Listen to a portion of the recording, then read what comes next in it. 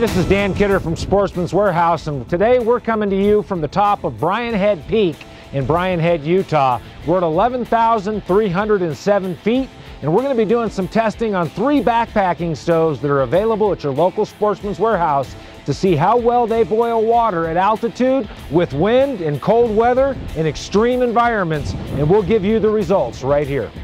For each one of these stoves, we used the canister of gas that was created by the manufacturer of the stove and suggested. Before we fired the stove up, we used this Jetboil gauge to measure the amount of fuel that was in each tank.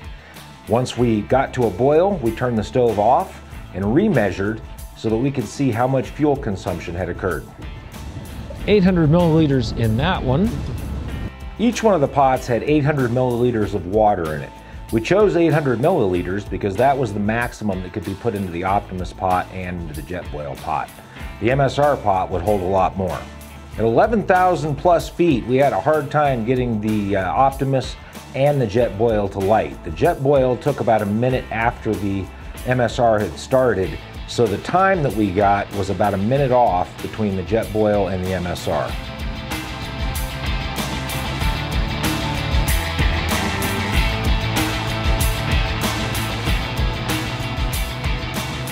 Minute 39. In a minute 42, we're starting to see the uh, Optimus and the MSR boiling. The Jetboil is now just starting to get some steam at a minute 52. It looks like the Jetboil is catching up at two minutes with the other two, and it took us uh, almost a minute to get it lit. We're getting bubbles forming at the bottom of the Optimus at 2 minutes 13 seconds. And I have a boil on the MSR at 238.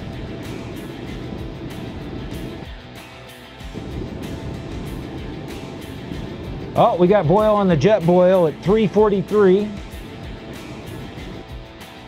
We're at a rolling boil on the MSR at 423.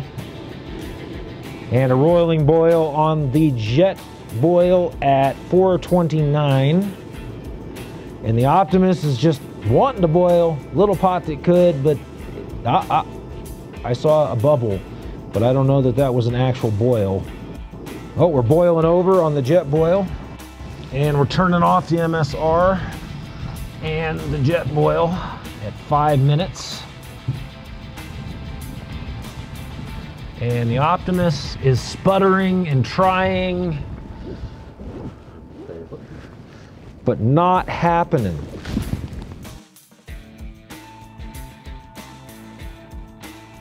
It's, it seems like it's staying just right below a boil. And we're at 8 minutes 47 seconds. We are going to pull the plug at 10 minutes if we can't hit a boil at 10 minutes.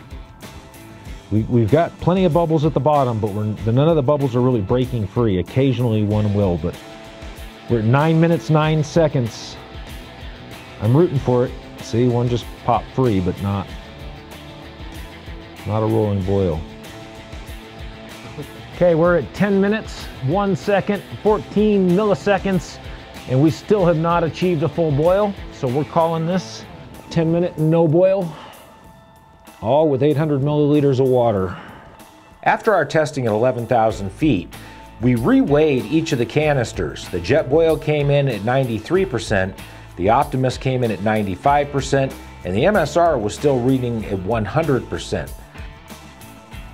So we've gotten some benchmarks at 11,307 feet up here on Brian Head Peak in the wind, in the cold, and kind of got an idea how these perform at some of the most extreme environments. We're going to take them back down to about 6,000 feet, which is where you're more likely to use them, and see how well they do there. Once we finished our testing at high altitude, we returned back to 5,675 feet. Because of the pressure differential, the Jetboil and the MSR were back at 100%, and the Optimus was showing a 98% on the tank. We had a much easier time getting these stoves lit at 5,675 feet. One reason for that is we didn't have any wind because we brought them inside. Now we did have the doors completely open so that we had plenty of airflow in the room. They're not recommended for use indoors because of carbon monoxide, but we had some really bad weather moving in and we had a lot easier time getting them lit and running inside.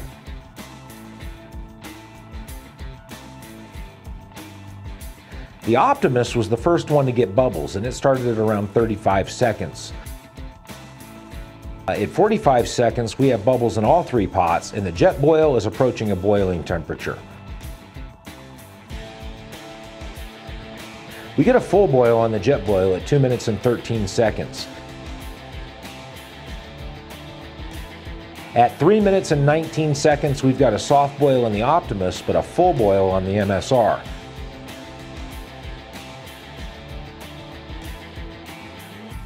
At 4 minutes and 15 seconds, we've got a rolling boil on the Optimus. After all our tests, the gas in the Optimus was at 87%, the jet Jetboil was at 90%, and the MSR still showed 100%, making it by far the most efficient of the stoves. In all, there's a lot of use for a backpacking stove. If you're going to be doing hiking, even just keeping one in your vehicle, I keep a backpacking stove in my truck all the time. I can pull over on the side of the road, open up a camping meal, uh, make myself a cup of coffee, anywhere I, I need to do that. So they're really useful to have. It just depends on what features you're looking for, if size is important to you, if weight is important to you, uh, that having a lighter is important to you. The features that you're looking for are going to be a big factor in determining which one of these stoves is going to be the best fit for you. So I'm going to go through what I see as some of the pros and some of the cons of each of these stoves. The MSR Windburner Duo stove is a two-person stove. It's got a 1.8 liter or 7.5 or 2 quart capacity pot, and it has a 7,000 BTU burner. The pros on this, I see it's got a pot sleeve, so you're not going to burn your hand. I kind of like that it has a freestanding base and a remote fuel hose, so you're not standing the fuel up underneath it. It has really good measuring marks in the pot. It has both standard and metric measuring. It has a radiant heat burner. It's different than the others in that it acts kind of like a, a catalytic converter. It absorbs all that heat into the mesh. Um, I will tell you that from experience with this type of pot, I've used the MSR for a long time, that if you get a few overflows of your pot and water gets into that radiant burner, over time it'll rust and it'll stop working on you. It has a strainer and pour vents in the lid and the handle has extra thermal protection so if you fill that thing up, it's got a lot of weight to it and you're holding onto that handle, it's not going to burn you through there. There's extra protection there. There's fold out legs on the stove base itself to give it a nice wide platform. Really easy to just set the pot down and mate it with the stove. You don't have to line up any little uh, dents and divots and try to twist it and get it lined up. That's a real plus. The cons on this are there's no igniter. Um, it's a larger and heavier unit, but it is designed for two people. Didn't have any kind of a windscreen, and they can only be used with that MSR Windburner cookware but that does come in a wide variety of different pots and cups, uh, so there are many options out there available for you. The Jetboil Flash is a two cup capacity and it has a 9,000 BTU burner. Some pros on this, it is small and it's lightweight and it's designed for an individual's use. It does have a built-in piezo lighter, but we couldn't get that to work at 11,000 feet. Piezo lighters are really hit or miss anything above seven to 8,000 feet. Um, it does have a strainer and pour vents in the lid. The pot sleeve is awesome, it works great, and it has a visual heat indicator that changes color um, when it gets hot. Has a really good solid handle on it, and the handle's got a little tab on the top to help you grab and pour it more in a, in a more controlled manner. And then it also comes with a little fold out fuel canister stabilizer that will take a small and a medium canister of fuel. The cons, um, it was really hard to seat the pot on the burner. You have to line the divots up with the burner itself and the pot and twist it. It can only be used with the Jetboil pot unless you buy an extra pot adapter. There are some extra pot adapters available that will allow you to use that burner with a regular pot or pan. There are also other, a lot of attachments for that Jetboil. There are coffee presses that you can get for that, so you can do French press coffee with it. Uh, there's the pot stand for it. There's uh, just a variety of different things that you can get with the Jetboil and they're widely available. The Optimus Crux Weekend HE cook system is a 0.95 liter or four cups or one quart capacity and it had a 12,000 BTU burner which made it the hottest burner of all of the stoves that we tested. The pros on it, it has two pots, one large and one small, so you're not limited to just heating water with it, but it's actually a major cook system. It can be used with other pots and pans without an adapter. It's gonna, of course, be much more efficient if you use that larger pot on the bottom that has those fins to capture the heat. It also has uh, high temperature silicone handle protectors on those pots. It really folds flat for storage. That stove completely collapses, slides over to the side. All of the little pot rests fold up into it and it goes into a little neoprene bag that will go underneath the can of gas and fits perfectly under there.